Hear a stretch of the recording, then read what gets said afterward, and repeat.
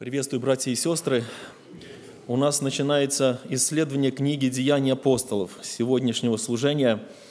Последующих несколько недель у нас будет изучение «Деяний апостолов» и уроки, которые преподает нам Господь в этой интересной книге. Я бы вначале хотел прочесть вот для нашего рассуждения основания, и дальше мы будем больше читать. Но в начале «Деяния апостолов», первая глава, первых несколько стихов. Первая глава Деяний апостолов с первого стиха. «Первую книгу написал я тебе, Феофил, о всем, что Иисус делал и чему учил от начала, до того дня, в который Он вознесся, дав Святым Духом повеление апостолам, которых Он избрал, которым и явил себя живым по страдании Своем, со многими верными доказательствами, в продолжении сорока дней, являясь им и говоря о Царстве Божьем. И, собрав их, Он повелел им не отлучаться из Иерусалима, но ждите, не отлучайтесь из, из, из Иерусалима, но ждите обещанного от Отца, о чем вы слышали от меня». И с 12 текста, 12 стих, «Тогда они возвратились в Иерусалим с горы, называемой Елеон, которая находится вблиз Иерусалима, в расстоянии субботнего пути, и, придя, взошли в горницу, где и пребывали Петр, Иаков, Иоанн и Андрей, Филипп и Фома, Варфоломей и Матфей, Иаков Алфеев и Симон Зилот, Иуда, брат Иакова». Вот так вот начинается деяние святых апостолов. Деяния святых апостолов, братья и сестры, это книга, одна из книг Нового Завета, в которой рассказывается история первой церкви. Вот первые шаги христианской церкви после того, как возникло вот это вот новое учение, Новый Завет, да? Новый Завет, который принес Господь Иисус Христос. И вот на основе его возникло вот это новое а, учение, можем так сказать, да? Потом оно названо будет христианством. Автор этого послания Лука. Считается, что это Лука, все с этим согласны почти. Это был спутник и соратник апостола Павла. Вот в Колоссянам, если помните, есть четвертая глава, там написано, что Лука – возлюбленный врач. Так называет апостол Павел своего соратника и попутчика. Возлюбленный врач, который помогал Павлу, Павлу его служении. И он сопровождал Павла во втором его путешествии миссионерском, в третьем они вместе были миссионерском путешествии. И вот в последнем путешествии в Рим Лука также был с Павлом. И вот Лука – это тот автор, а, а, который пишет вот эту книгу «Деяния апостолов». Книга «Деяния апостолов», она адресована, мы с вами читали, Феофилу. Считается, что это был один из, один из обращенных язычников. Скорее всего, он был римлянин и занимал, похоже, высокую должность, какую-то больше ссылаются к этому, но это был один из обращенных язычников, вот которому пишет Лука. Это уже вторая книга, да? Вот написано, что это первую книгу я написал тебе. То есть первая книга была написана, и это первая книга, конечно же, братья и сестры, это Евангелие от Луки. Евангелие от Луки – это тоже авторство а, того же автора, тот же вот э, Лука, который написал «Деяния апостолов», он писал первую книгу, которую мы знаем как Евангелие от Луки. И вот эта вот первая книга, она, вы знаете, да, вот начинается Евангелие от Луки, и там написано, для чего писал Лука, он так и пишет, чтобы ты узнал твердое основание того учения, в котором был наставлен.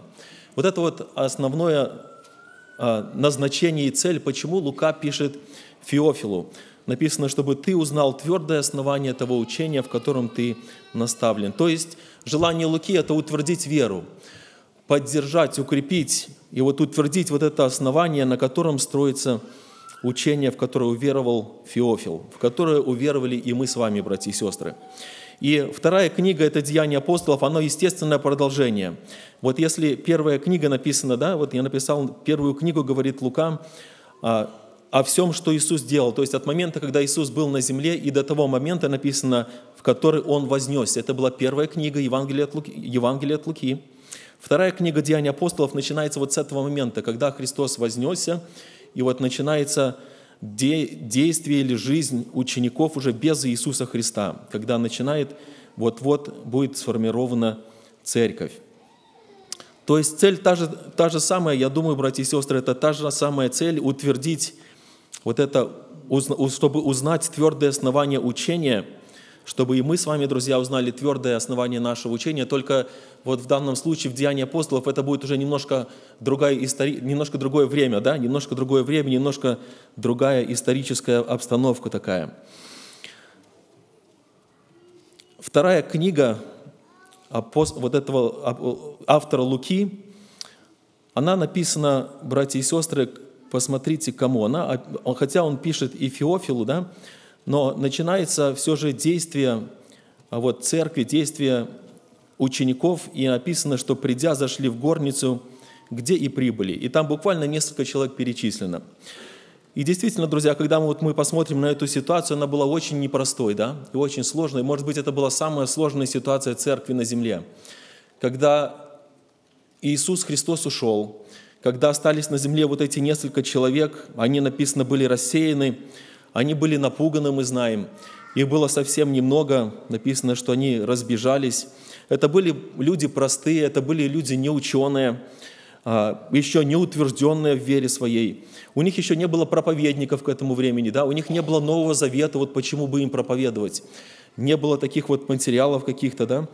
А, они были в горнице в каком-то ожидании. Но, братья и сестры, было одно, одно было твердое основание, о котором так и говорит Лука, вот твердое основание, знаете, и вот это твердое основание, оно заключается вот в этих словах. Первую книгу написал я к тебе, Феофил, о всем, что Иисус делал и чему учил от начала. Да, многого не было, друзья, у первых апостолов, у первых учеников многого не было. И они были в трудностях, в, переживаниях, в переживаниях. Многое, может быть, не знали они, многое им было неизвестно, но у них было твердое основание. И это основание заключалось в том, что они хорошо знали, что делал Иисус и чему учил. А это были те люди, которые были а, очевидцами а, Иисуса Христа. Они были с Ним, они, это не так много времени прошло, они помнили Его наставления, они помнили детально, что делал и как говорил Иисус Христос. И когда вот мы с вами думаем, что могли сделать вот эта горстка людей, которые были напуганы, рассеяны, у которых не было, не было никакой власти, никаких связей, единственное, что они сделали, могли сделать, и то, что они сделали, братья и сестры, и в этом большое благословение для них – они вспомнили и начали поступать и делать так, как написано Иисус сделал и чему Он учил. И пройдет действительно буквально совсем немножко времени, друзья. Вот если вы вспоминаете историю, пройдет буквально немножко времени, и вот эти вот испуганные, э, которых никто не знал, которые написаны не книжные, простые, о них узнает очень скоро весь мир – очень скоро они станут очень смелыми, и мы об этом читаем, и много примеров в Писании, как смело они возвещали весть Евангелия.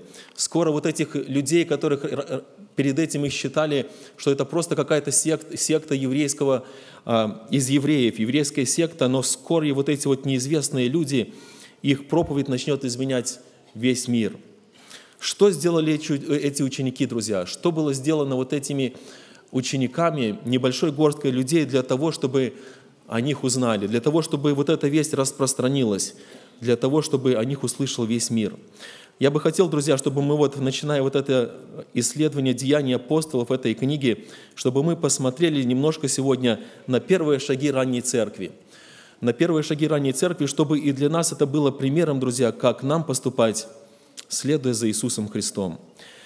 И вот мы дальше читаем первая глава Деяний апостолов, мы с вами читаем буквально следующий стих, 14, написано «Все они единодушно пребывали в молитве и молении».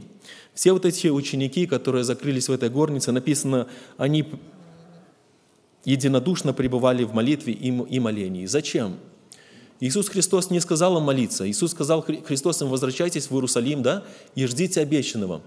Но вот они возвращаются в Иерусалим, и написано, что они единодушно молятся. Братья и сестры, откуда они знали, что надо молиться? Кто им дал такую идею, что вот когда в их ситуации самое лучшее, что можно делать, это пребывать в молении? Я думаю, братья и сестры, это не секрет для нас, потому что они вспоминали вот эти слова о всем, что Иисус делал и чему учил. Мы сразу вспоминаем Иисуса Христа, вот даже в первой книге о том, что Иисус делал и чему учил, Евангелие от Луки – и мы с вами читаем много-много примеров о том, из чего складывалась и, и жизнь Иисуса Христа. И мы читаем в 5 главе 15-16 стих. «Но тем более распространялась молва о нем, и великое множество народа стекалось к нему слушать и врачеваться у него от болезней своих. Но он уходил в пустынные места и молился». При всей своей занятости, служении своем, написано, Иисус находил время и возможности, уходил в пустынные места и молился. Чуть дальше написано, интересно, 6 глава, 12 текст. «В те дни взошел он на гору помолиться и пробыл всю ночь в молитве к Богу». Вот так вот строилась молитва Иисуса Христа, друзья. Когда не было днем для молитвы, написано, уходил и пребывал всю ночь в молитве к Богу. И не только он так поступал, да, написано, как Христос поступал и как учил, но он этому же и учил, братья и сестры. Вот интересно, что никогда расхождений нет в Иисусе Христе. Написано, что Иисус делал и чему учил. И то, что делал Иисус в своей жизни, тому он и учил. И наоборот, чему учил Иисус Христос, то он всегда практиковал в своей жизни. И он дальше учил, вот 21 глава мы читаем, написано, своим ученикам Господь говорит, бодрствуйте на всякое время и молитесь. Занимайтесь молитвой. 22 глава, 40 стих. «Молитесь, чтобы не впасть в искушение». И написано и дальше, «И сам, преклонив колени, молился». Иисус Христос был человеком молитвы, братья и сестры. И в Луки мы читаем дальше, 18 глава написано, «Должно всегда молиться, должно всегда молиться», говорит сам Иисус Христос. Притчу об этом говорил. Нет разницы, друзья, или мы в радостном, хорошем настроении, или мы в плохом настроении. Или у нас все получается, или у нас вообще ничего не получается. Или у нас свобода, или у нас может быть гонение. Или у нас большие переживания, или, может быть, маленькие переживания. В здоровье мы или в болезни написано должно всегда молиться. И так поступал Иисус Христос. И поэтому неудивительно, когда вот первые ученики остались в такой ситуации, естественно, они вспоминали, что делал Иисус Христос. И поэтому они молились. В горнице написано, собрались и единодушно молились. Много-много вопросов, друзья. Вот мы читаем читание, как, Деяния апостолов, и вот как часто, очень часто, почти в каждой главе написано, как во многие вопросы, проблемы, переживания решались первой церковью в молитве. Как-то сложился, а, возник вопрос об, избрании апостола, да, вот прямо в этой же первой главе, и Петр говорит, что нужно апостола избрать, 12 и написано, и помолились, и сказали. То есть апостолы опять молятся об этом. Вторая глава мы читаем, что они постоянно пребывали в молитвах. Первая церковь пребывала в молитвах. Шестая глава, четвертый стих, то же самое говорит, мы постоянно должны быть в молитвах. Помните, это служителя, которые говорили, что наш приоритет – это служение слова и молитва. Служение молитвы – это наш приоритет. Да, есть какие-то другие служения, есть какие-то другие вещи, которые мы должны делать, но, говорит, мы, мы, будем, мы должны делать или хранить вот этот приоритет нашего служения. Мы должны всегда, постоянно написано, должны быть в молитвах. Интересный случай, тоже известный нам, 12 глава, мы читаем, помните, когда Ирод поднял руку, обезглавил сначала Иоанна, потом взял и Петра, посадил его в темницу, и написано, Петра стерегли в темнице, между тем, как церковь прилежно молилась о нем Богу. Братья и сестры, я не знаю, вот в чем выражалась прилежность молитвы. Вот как можно сказать, что церковь прилежно молится? То есть, может быть, это много молитв было, может быть, это были все молитвы вслух, может быть, у них какая-то молитва была, может, как мы иногда делаем, знаете, 20 час, 24 часа, и мы записываемся, кто молиться будет. Есть много способов, друзья, но должна быть не простая молитва, прилежная молитва, должно быть усилие для того, чтобы это совершалось в нашей жизни.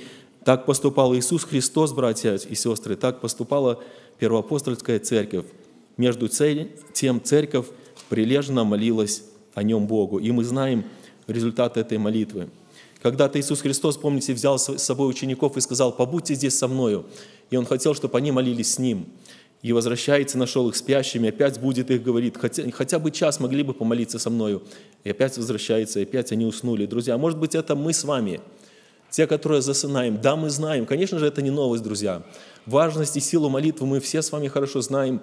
Может быть, только мы те, которые, которых Иисус сегодня находит спящими в молитве. Это первый шаг, друзья, о котором я хотел говорить. Молитва – это был первый шаг, что практиковала церковь. Вот это первая церковь, первые шаги первоапостольской церкви в трудностях, в переживаниях – это было служение молитвы. Еще один шаг, друзья, который был в Первоапостольской церкви, мы читаем это во второй главе, немножко чуть дальше. Мы знаем это событие, когда все они были единодушно вместе, и вот написано, сделался внезапно шум с неба, наполнил весь дом, где они находились, и явились им разделяющиеся языки, как бы огненные, и почили по одному из каждого, на каждом из них, и исполнились все Святого Духа, и начали говорить на иных языках, как Дух давал им провещевать. Вот это второй шаг, друзья, это встреча с действием Святого Духа. Первая апостольская церковь, она вот в эти дни как раз, вот в первые дни своего существования, именно в тот день, когда мы называем день рождения церкви, эти люди, они встретились с действием Святого Духа в своей жизни – и они поняли, они хорошо поняли, что это действует Бог. А почему, друзья? Почему вот эти первые, апостолы, первые люди церкви, они хорошо поняли в этот час, что это действие Бога, что это не, какие-то, не какое-то случайное явление, что это проявление чего-то непонятного. Они поняли, что это действие Бога. Знаете почему? Потому что у них было основание. Они знали, что так делал и так учил Иисус Христос. Они хорошо знали вот это вот событие, которое произошло когда Иисус Христос был сам крещен Духом Святым, когда Он пришел к Иоанну, написано, чтобы исполнить всякую правду, Он крестился, и когда вышел из воды, написано, Дух Святой в виде голубя, как бы голубь спускался на Него. Они были очевидцами этого, друзья, и они хорошо понимали, что так было в жизни Иисуса, и так может быть и должно быть в их жизни. И только после того, вот интересно, когда Иисус Христос был крещен Духом Святым, только после этого случилось испытания его. Только после этого он был поведен в пустыне. Только после этого у него были вот эти искушения и победы в этих искушениях. Только после того, когда наш Господь Иисус был исполнен Духом Святым. Только после этого началось его служение. Мы считаем, что а, когда вот после этого события, когда Иисус Христос был а, крещен, когда Дух Святой сошел на него, и вот после искушения в пустыне, в 4 главе мы так читаем – и возвратился Иисус в силе Духа в Галилею, и разнеслась молва о нем по всей крестной стране. То есть вот после этого, только после этого он начинает свое служение. Естественно, друзья, Иисус Христос прекрасно знал силу и значение действия Святого Духа. Именно поэтому Он сказал, что ждите, когда я пойду, я пошлю вам утешителя, и, и вы примете силу, когда примете Духа Святого, и станете моими свидетелями. Только после этого, друзья, Господь сказал, что после этого вы примете силу потому что вы, только соприкасаясь с Духом Святым, друзья, мы получаем вот эту силу. И неудивительно, когда мы читаем Деяния апостолов, друзья, опять же, вот с самой первых глав, и потом дальше мы читаем, как часто мы встречаемся с проявлением Святого Духа. Может быть, как нигде в другой книге Библии об этом сказано исполнились Духа Святого, исполнились Духа Святого. Дух Святой сказал, Дух Святой сделал.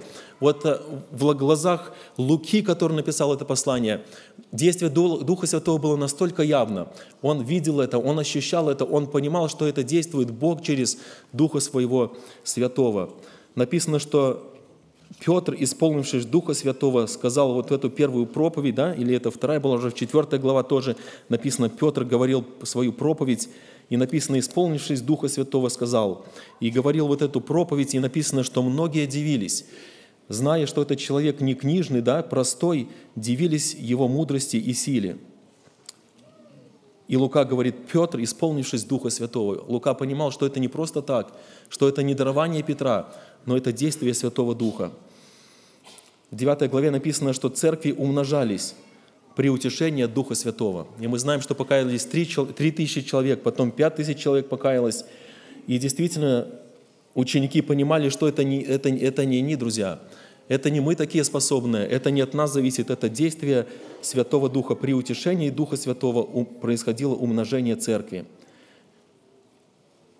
Когда-то тоже вот вопрос стоял о том, чтобы послать братьев на служение – и интересно тоже вот в, Еван... в Деянии 13, глав... 13 главы, когда Варнаву и Савла нужно было послать на служение, и там конкретно написано, когда они служили Господу и постились, Дух Святой сказал, отделите мне Варнаву и Савла на дело, к которому я призвал их. Насколько четко и ясно действовал Дух Святой, друзья.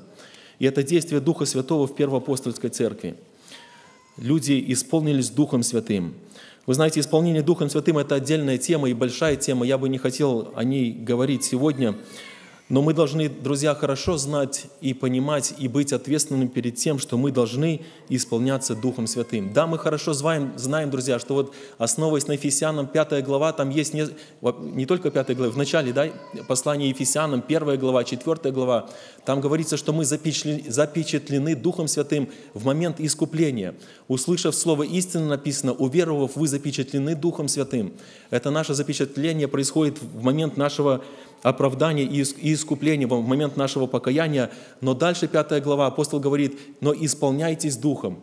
Исполнение Духом Святым происходило вот в Первоапостольскую церковь, и это должно происходить и в нас, друзья. В каждом дне нашей жизни написано «исполняйтесь Духом Святым». И есть много, друзья, методов, как исполняться Духом Святым. Одно только хочу сказать сегодня. Написано вот Деянием, тоже 5 глава, 32 стих, как исполняться Духом Святым. Написано «Бог дал Духа Святого повинующимся Ему. Братья и сестры, друзья, вот исполнение Духом Святым происходит только тогда, когда мы повинуемся Богу, и, никогда в друг... и, и ни в каких других ситуациях. Написано, что Христос, Он сказал, должно мне исполнить всякую правду, то есть Он должен был это исполнить. И написано, когда Он исполнил, совершил крещение, только тогда Он был крещен Духом Святым. Христос был послушен, чтобы исполнить всякую правду. Написано, апостолам было повеление, ждите меня, ждите в Иерусалиме, да, ждите обещанного. Апостолы послушались, и только тогда, вот после их послушания, написано, вот случилось событие второй главы Деяния апостолов, были исполнены Духом Святым. Очень многие примеры, друзья, когда люди исполнялись Духом Святым, но только тогда, когда они были послушны Писанию, только тогда, когда они смирялись, только когда их сердце было чистым, только когда они располагали сердце свое быть послушными Господу, повиновение проявляли, и тогда они исполнялись Духом Святым. И только тогда, друзья, была сила. Только тогда в нашей жизни будет смелость и мудрость, и ведение, и откровение Божие будем получать, если мы будем исполняться Духом Святым. Интересно, Деяние 4 глава, вот тоже этот момент, когда, помните, апостола Петра, а, апостола отпустили Синедриона и запретили проповедовать. Помните этот момент, 4 глава. И когда они, написано, пришли к своим, то есть к тем людям, которые уже пережили да, момент Пятидесятницы, это люди были исполнены Духом Святым уже, на них уже почили тогда языки, и написано в 4 главе, вот когда возвратились а, Петр, и они Э, начали молиться, да, зная вот это запрещение, они начали молиться. И когда написано по молитве их, поколебалось место, где они были собраны, и исполнились все Духа Святого, и говорили Слово Божие с дерзновением. Опять происходит исполнение Духом Святым. Братья и сестры, когда мы в молитве, когда мы в посте, когда мы в послушании и смирении ходим перед Господом, вот это условие исполнения Духом Святым, и это условие для того, чтобы нам жить христианской жизнью – что еще сделал Иисус, друзья, и что сделали первые ученики? Луки 4 глава, 43, 43 текст.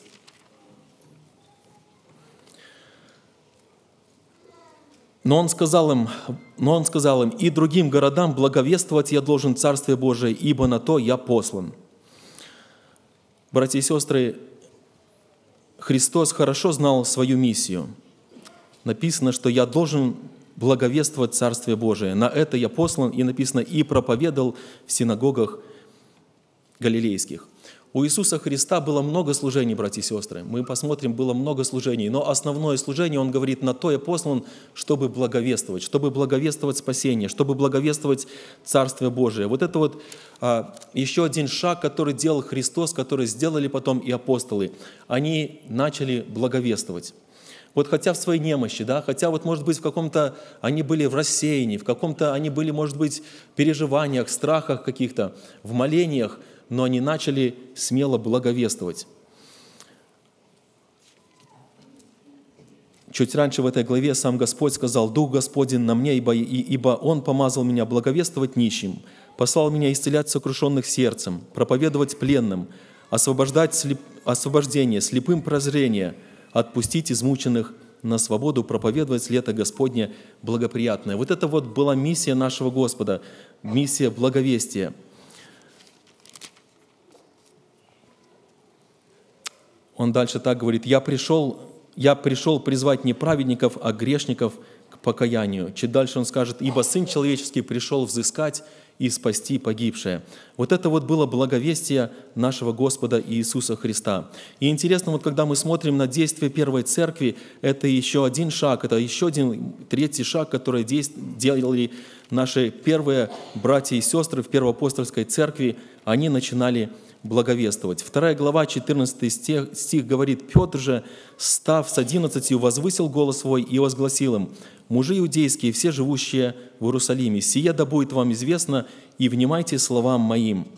Дальше он говорит, «Иисуса Назарея, мужа, засвидетельственного вам от Бога силами и чудесами и знамениями, которые Бог сотворил через Него среди вас, как и сами знаете, сего по определенному совету и предведению Божию преданного вы взяли – и, пригвоздив рукам, руками беззаконных, убили. Но Бог воскресил его, расторгнув узок смерти, потому что ей невозможно было удержать его. Чуть дальше он говорит, «Итак, твердо знай весь дом Израилев, что Бог соделал Господом и Христом всего Иисуса, которого вы распяли». Услышав это, они умилились сердцем и сказали Петру и прочим апостолам, «Что нам делать, мужи-братья?» Петр же сказал им, «Покайтесь и докрестится каждый из вас во имя Иисуса Христа для прощения грехов и получите дар Святого Духа. Вот это благовестие, это первые благовестники на земле из церкви, друзья, первые проповеди, которые звучали от Петра, от Павла, а, от других братьев, от Стефана, они благовествовали о спасении. Первая церковь – это была церковь благовестия, друзья. Апостол Павел поэтому неудивительно говорит, что благовестие – это необходимая обязанность моя. Горе мне, если не благовествую. И действительно история говорит, друзья, что в очень короткое время, буквально несколько, может быть, десятилетия прошло, и учение Иисуса Христа, оно распространилось. От Иерусалима до Рима пошел апостол Павел. Но уже до того, как апостол Павел до Рима дошел, известно, что в Египте и в Сирии были большие христианские церкви. А, буквально через несколько лет в Иерусалиме историки говорят, что церковь насчитывала приблизительно от 30 до 50 тысяч членов, одна церковь в Иерусалиме. И это было, друзья, результат благовестия. Когда братья наши и сестры, не жалея сил, не жалея жизнью, они понимали, что это то, что они должны делать, они должны благовествовать. Апостол Павел говорит римлянам, спасешься, если устами будешь исповедовать Иисуса Христа.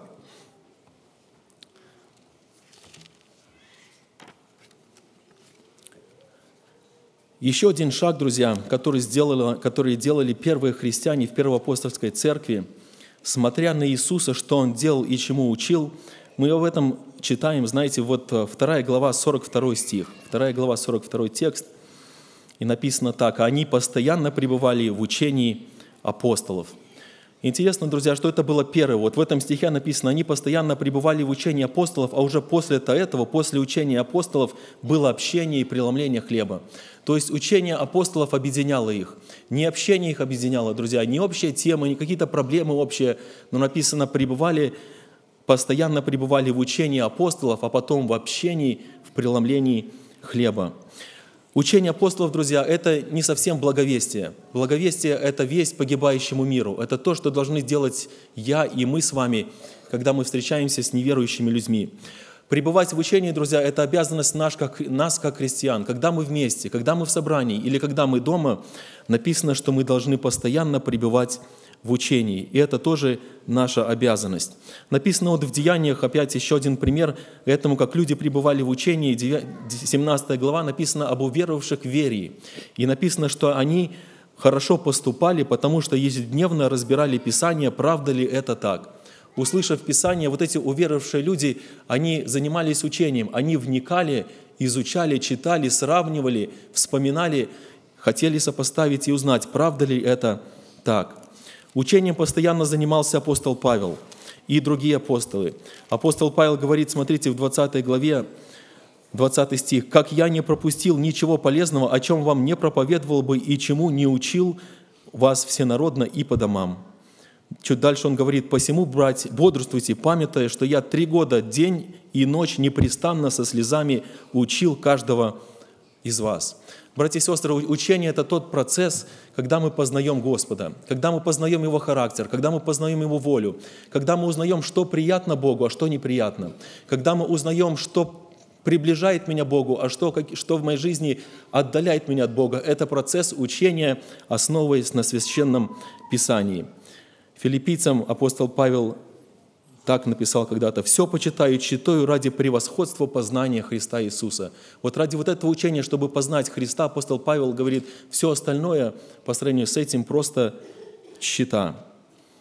Апостол Павел пишет дальше Тимофею, «Вникай в себя и в учение, занимайся этим постоянно, занимаясь так, занимаясь, вникай в учение, друзья, написано, спасешь себя и слушающих тебя». Почему, друзья, вот откуда взяли вот первые вот эти люди, да, первые люди в нашей э, христианской истории, апостол Петр, апостол Иоанн, Павел, откуда они знали, что важно заниматься учением, друзья? Откуда?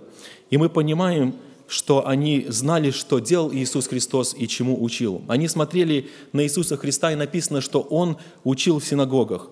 Луки 19, 47 написано, Он учил каждый день. Иисус Христос учил каждый день. Более того, Иисус Христос сам учился. Интересное место в, в, в Евангелии от Иоанна написано 8.28. Иисус Христос говорит, я, говорит, учу не сам от себя, я не говорю то, что я хочу вам сказать, но я говорю то, что Бог меня научил. То, что Бог меня научил, я, говорит, передаю вам. Иисус Христос сам учился. Он вникал, Он познавал, друзья. Вот это поручение великое, Матфея 28, 19, великое поручение церкви, оно также звучит, «Итак, идите, научите все народы, научите все народы, уча их соблюдать все, что я повелел вам». Научитесь, братья и сестры, это повеление к нам. Во-первых, в первую очередь мы сами должны научиться. Мы сами должны научиться всем повелениям, что Господь поручает нам. Интересно, вот последнее время, особенно недавно, я тоже услышал, беседовал с молодым человеком, и он ходит в нашу церковь и говорит, «А, при благодати, вот в Новозаветней церкви не должно, вообще неправильно, чтобы было слово «должен». Должен – это из Ветхого Завета, это закон. Вот если мы, говорит, в церкви учим, что мы должны что-то делать, вот мы законники сразу, мы неправильно поступаем. Братья и сестры, я так не нахожу. Мы с вами прочитали вот это место. «Научите все народы, уча их соблюдать все, что я повелел вам». Есть повеление, то, что повеление, то, что мы должны делать. Да? Сам Христос говорит, идите, научите, уча сами, сами научаясь, уча повелевать всему, что я повелел. Есть повеление, которое мы должны, мы должны и должны и обязаны делать. У нас нету просто других вариантов. А благодать, друзья, благодать, которая часто говорят, что ну, сейчас благодать, не должно быть должен, потому что сейчас благодать. А мы читаем, что благодать, она тоже научающая. Благодать, в которой мы сейчас находимся, которую принес Иисус Христос, написано, она тоже научает нас, да, отвергнув нечестие, мирские походи, целомудренно, благочестиво жить в нынешнем веке. Научающая благодать, она тоже учит нас, она тоже нам повелевает. Поэтому как важно, друзья, чтобы в своей жизни мы учились, вникали в себя и в учение, занимались им постоянно. И последнее, еще один шаг, который делали первые христиане, друзья – мы с вами давайте прочитаем вторая глава, Деяние вторая глава, мы с этим сталкиваемся уже во второй главе, и тот же 42, ну, чуть дальше прочитаем, вторая глава, 45 стих. «И продавали имение и всякую собственность, и разделяли всем, смотря по нужде каждого». Братья и сестры, вот собрались многие люди, множество было, большая церковь, больше, чем у нас, и они не смотрели на себя – они не смотрели на себя, вот почему у меня нету того, почему кому-то больше досталось, почему жизнь так сложилась, почему у меня какие-то проблемы, переживания. Но смотрите, они смотрели, написали, разделяли всем, смотря по нужде каждого. Первые христиане смотрели на нужду ближнего, друзья. Они смотрели на ближнего не с той целью, чтобы осудить, как-то оценить его, но чтобы увидеть, а есть ли в нем какая-то нужда. И вот это вот, друзья, служение, пятый шаг, который хотел бы я немножко сказать – это наше служение. Служение святым, служение ближним нашим, может быть, это служение людям или же служение в церкви. Хотя немножко это разные вещи, но я бы хотел не разделять сегодня это наше служение. Первая церковь, друзья, вот первые наши братья и сестры, они приняли служение. У каждого было свое служение. У кого-то большое было, у кого-то малое. Кто-то должен был, был печтись о столах, мы читаем. Кто-то должен был печтись о молитве. Кто-то должен был проповедовать. Кто-то должен был а, уделять внимание вдовам и сиротам. Разные служения были, но интересно, что они смотрели на нужды своих ближних. Постоянно написано, помните, мы уже читали об этом 6.4, написано, а мы постоянно прибудем в служении. У каждого из них было свое служение, друзья, и они говорят, постоянно прибудем в служении.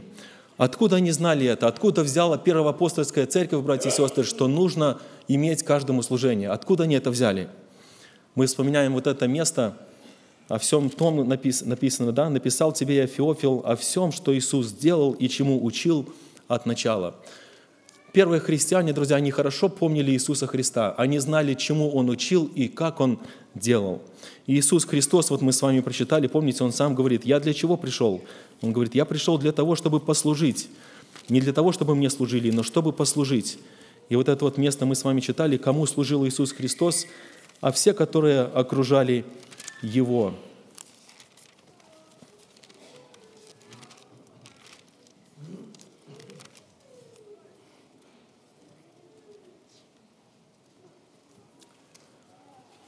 Евангелие Луки написано, опять же, говоря о Иисусе Христе, то, что вспоминали первые апостолы,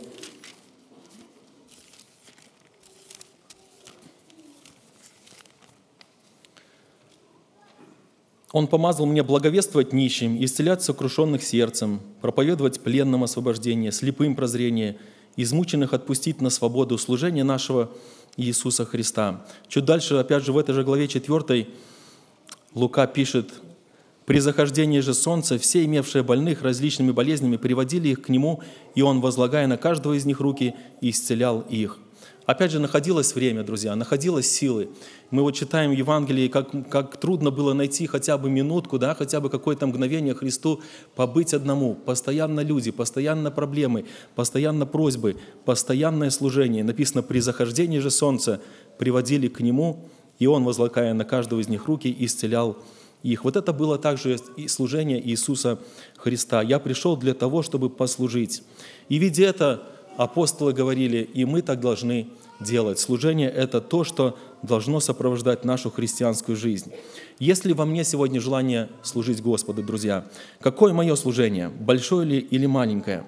Апостол Павел, помните, когда уверовал, первый же вопрос он задал, что повелишь мне делать?